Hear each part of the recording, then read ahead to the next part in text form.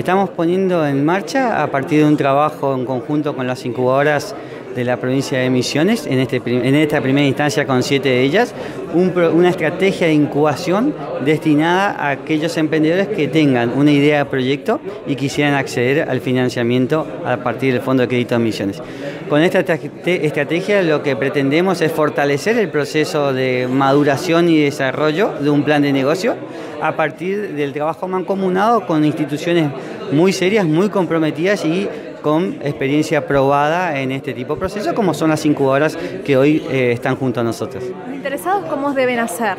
El paso previo, el paso inicial, perdón, es o acercarse directamente a cualquiera de las instituciones participantes, esto es al Fondo de Crédito o a las incubadoras que forman parte de esta estrategia, o a través de la página de internet www.incubadorasmisiones.com y a partir de allí pueden iniciar el proceso de preincubación incubación para acceder al financiamiento. ¿Cuántas incubadoras son y cuáles son, si nos pueden enumerar? En este momento son, en esta primera etapa son siete, se encuentra la incubadora Incubate de la, Agencia de Desarrollo de Misiones, Incubat de la Facultad de Ciencias Económicas, Incupip del Parque Industrial Posadas, el Club Emprendedores de la Municipalidad de Oberá, eh, la incubadora del Ministerio de Turismo, AGEDEL, que es la, agencia de, la incubadora de la Agencia de Desarrollo del Dorado, y la agencia de ADN, que es la Agencia del Norte Misionero en Puerto Esperanza. Todo este proceso no tiene ningún costo. Es absolutamente gratuito para el emprendedor, por lo tanto lo animamos a acercarse y aprovechar esta instancia de formación y desarrollo de un plan de negocio absolutamente calificado. ¿Cuántos valores tienen por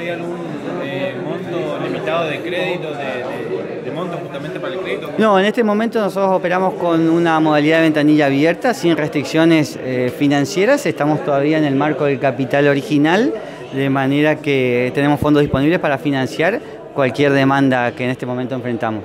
¿Cómo viene el tema de las entregas de créditos en todo este tiempo que está funcionando el fondo?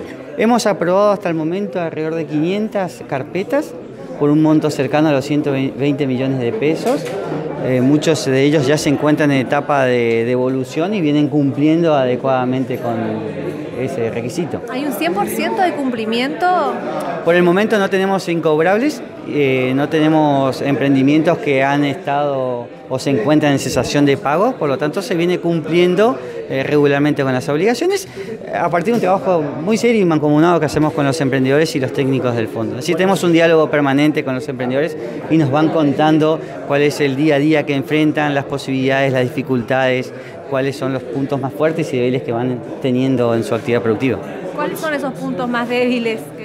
Bueno, hoy encontramos un mercado que ciertamente está bastante detenido, con un consumo que viene en algunos sectores disminuyendo y los emprendedores tienen que eh, activar ciertas estrategias de comercialización diferentes para tratar de, mantener su nivel de venta o por lo menos no disminuirlo en forma pronunciada. Y, en ese sentido nosotros estamos también trabajando con ellos la promoción. ¿Cuáles son los rubros que, más han pedido? En particular el principal rubro eh, se encuentran los servicios, servicios personales o profesionales, pero muy cerquita eh, encontramos las pequeñas industrias o talleres manufactureros, es decir, manufacturas en alimentos, manufacturas textiles o en madera y otro tipo de, materiales eh, como de carpintería, metalúrgicas, etc.